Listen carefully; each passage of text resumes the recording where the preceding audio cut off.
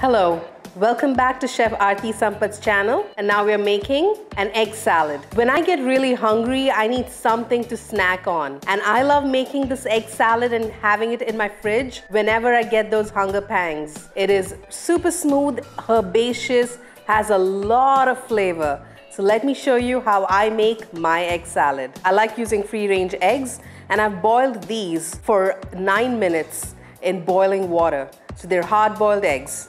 I have half a dozen right here. And to this, we're just gonna add a lot of herbs. To start off, we have some shallots that I'm about to chop. Super simple. These are really tiny with a delicate onion flavor. I'm using a tiny clove of garlic to provide that little raw garlic uh, fresh flavor.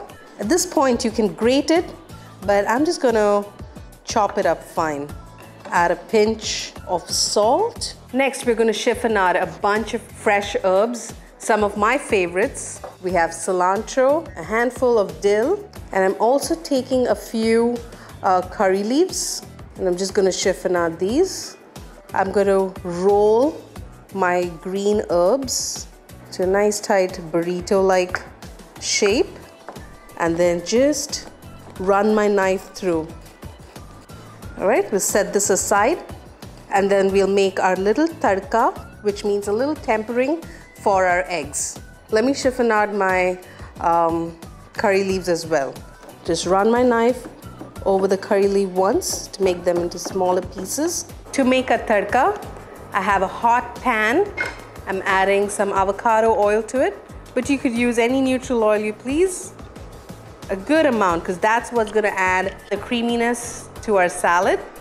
I'm about to add the shallots and the garlic. This is just a quick saute. And now when the shallots and the garlic have sweated slightly, I'm adding a touch of mustard seeds. They're very aromatic. A touch of turmeric, a pinch of coriander powder. And that's it. We'll turn it off before it burns. We're about to pour this hot oil on our eggs. Once the tadka's on it, I'm adding a pinch of salt and then I have my beautiful herbs that I'm just gonna slide into my salad. And then with a fork, I'm just gonna squish my eggs. Oh, I'm salivating already. As my yummy salad is coming together, I like to add a touch of apple Apple provides that slight bit of sweetness because there's a lot of spiciness going on with those mustard seeds. You can dice these, but I'm about to grate them. We also need to add a squeeze of lime.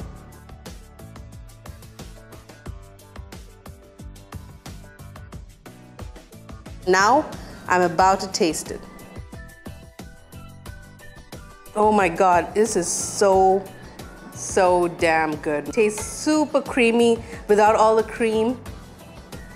I'm in love. So let me go and enjoy this salad and I hope you will try. Try it and let me know in the comments below what you think. And if you like my videos, please like and subscribe to Chef Aarthi Sampath. See you soon.